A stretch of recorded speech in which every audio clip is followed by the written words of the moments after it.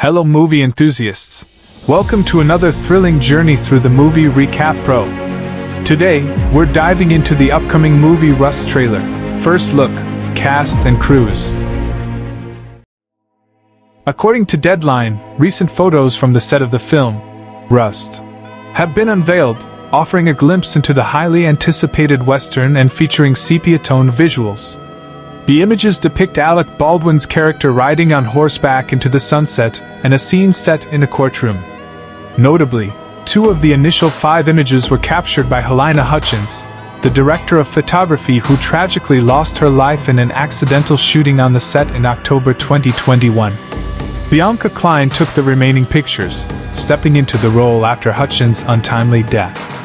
The dynamics of Rust underwent significant changes following the accidental shooting involving Hutchins.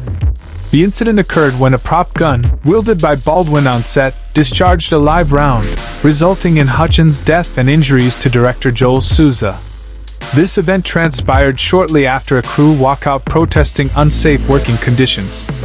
Production was immediately halted, only to resume in April of the subsequent year, concluding the following month.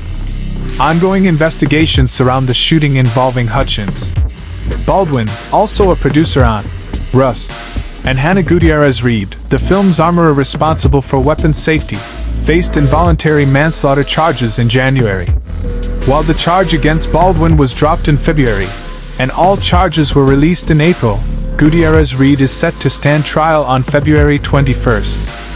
First Assistant Director David Halls pleaded guilty to negligent use of a deadly weapon. In June, a settlement between Rust and the Hutchins family was approved, designating Hutchins' widower, Matthew, as an executive producer.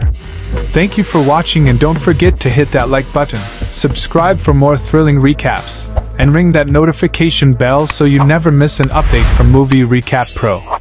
Thanks for watching.